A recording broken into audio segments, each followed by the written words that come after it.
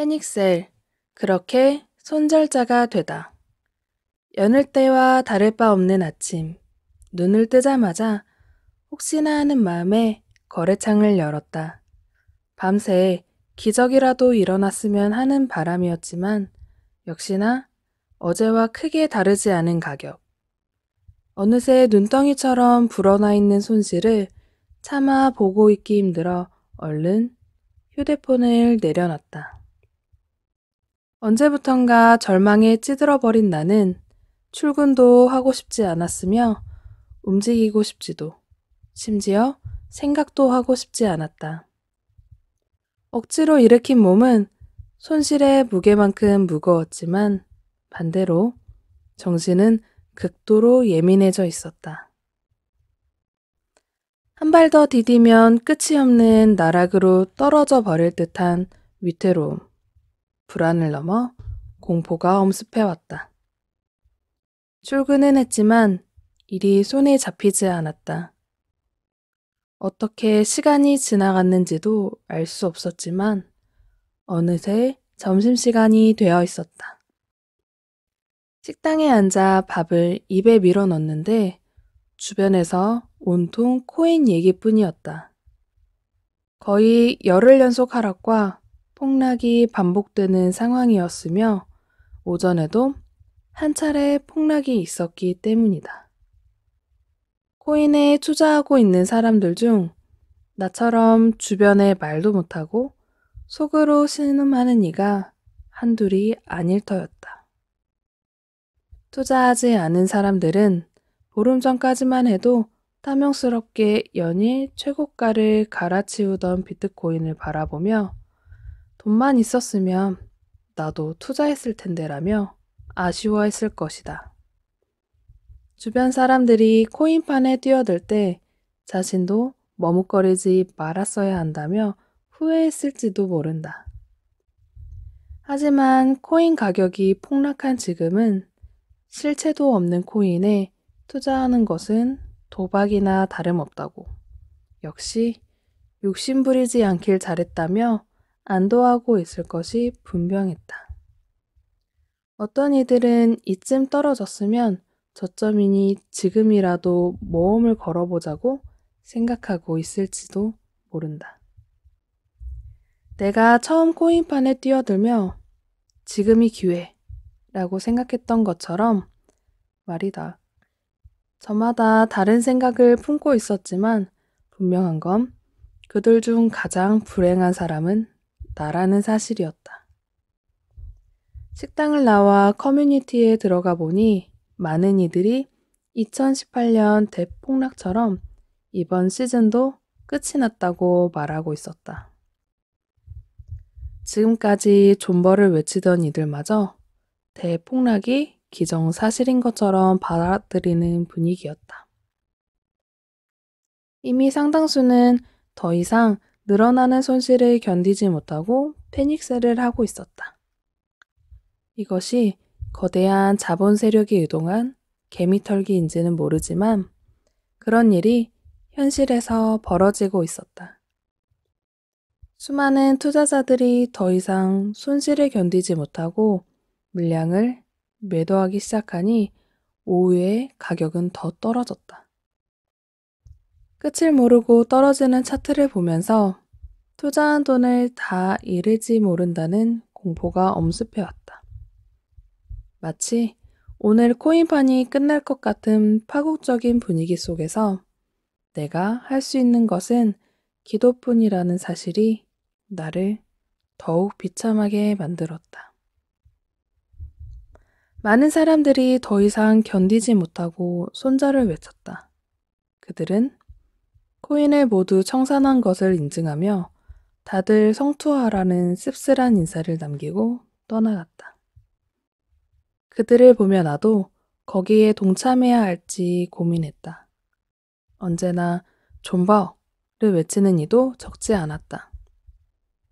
코인판에서 이 정도는 언제나 있었던 일이라며 별일 아니니 호들갑 떨지 말라는 투였다. 나는 몹시 지쳐 있었다. 열흘 이상을 밤낮 없이 멱살을 잡혀 끌려다닌 듯 나의 마음은 불안과 초조, 우울과 무기력으로 상처가 나 성한 곳이 없었다. 이제 정말 그만하고 싶었다. 더 이상 끌려다니고 싶지 않았다. 이 악몽과 같은 상황에서 벗어나기 위해서 나 역시 선택해야 했다. 언젠가는 오른다는 믿음으로 지금까지 견뎌왔지만 또다시 미친 듯 떨어지는 가격을 보면서 믿음이 흔들렸다. 코인을 오랫동안 해왔던 사람들이 얘기하는 것처럼 정말 존버가 승리할까? 하지만 내가 보기에 존버가 승리한다는 것은 결과론적인 해석일 뿐이었다. 2018년 코인이 폭락한 이후 다시 이렇게 될 것이라고 예상한 사람은 많지 않았다. 어떤 사람은 자신이 사놓은 비트코인 수십 개를 전자지갑에 넣어 놓았는데 보안상 걸어 놓은 암호를 잊어버리는 바람에 현금화하지 못했다는 이야기도 있었다. 또 4년 전 코인 광풍이 불 때 고점에 물려서 4년을 존버한 사람이 올린 인증샷을 보니 그 사람처럼 언젠가는 오를지 모른다는 막연한 희망 고문을 몇 년씩이나 견딜 자신이 없었다. 그리고 여기서 더 떨어진다면 도저히 만회할 수 없을 것 같았다. 수년간 모아온 종잣돈이 반토막이 났는데 세 토막, 네 토막 나면 무모하게 코인판에 뛰어든 나 자신을 용서할 수 없을 것 같았다. 결국 나는 손절을 선택했다. 아내에게 전화를 걸었다. 수화기 너머로 아내의 목소리가 들렸다. 어떻게 얘기를 꺼내야 할까 생각했지만 지금 그런 생각을 하고 있을 여유가 없었다. 더 이상은 안 될 것 같아. 이러다 더 떨어지면 정말 답이 없어. 아내는 나의 목소리가 심상치 않음을 느꼈다. 아내는 나를 말렸다. 조금만 참아보라고. 이렇게 떨어졌을 때 파는 건 아닌 것 같다고. 아내는 이렇게 많이 떨어진 뒤에는 조금이라도 오를 거라고 했지만 내 생각은 달랐다. 폭락에 대한 공포는 도망쳐야 한다는 알람 신호를 끝없이 보내고 있었다. 아내에게 정말 미안한데 더 떨어지는 걸 견딜 수 없다. 고 말했다. 아내는 더 이상 말릴 수 없다고 생각했는지 체념한 듯 알아서 하라고 했다. 나는 그렇게 손절자가 되었다. 가지고 있던 코인을 모두 팔아버리는 순간 한순간도 쉬지 않고 쫓아오던 손실에 대한 공포가 사라졌다. 손실이 현실이 되었기 때문이다. 대신 현실이 된 손실을 견뎌야 한다는 두려움이 나를 기다리고 있었다. 비참했다. 나는 포식자에게 붙들렸다가 온몸에 상처를 입고 겨우 목숨을 건지고 도망친 먹잇감 같았다. 도대체 어쩌다 이렇게 된 거지? 나는 이제 어떻게 해야 하는 걸까? 오만 가지 생각이 떠올랐지만 나는 너무 지쳐 있어 빨리 집으로 돌아가고 싶은 마음뿐이었다. 퇴근길. 차에 몸을 실었다. 집으로 달리는 도로. 뭐가 뭔지 모를 정도로 혼란스러웠다. 아무것도 생각하고 싶지 않았다. 집에 도착하니 아내가 나를 기다리고 있었다. 어떻게 되었는지 물었다. 정말로 다 팔아버렸느냐고 묻기에 그렇다고 했다. 아내는 그대로 주저앉아 울음을 터뜨렸고 나도 눈물을 참을 수 없었다. 공포에서 벗어나니 나를 기다리고 있는 것은 상실이라는 짙은 슬픔이었다. 우리는 한동안 그렇게 울었다.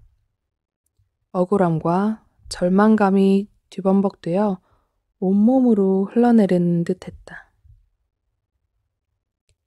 나름 열심히 살아왔다고 생각했는데 나름 착하게 살아왔다고 생각했는데, 불과 며칠 사이에 우리 삶의 결심이 갑자기 불어닥친 태풍에 휩쓸려 간 것 같았다. 나는 하늘을 원망했다.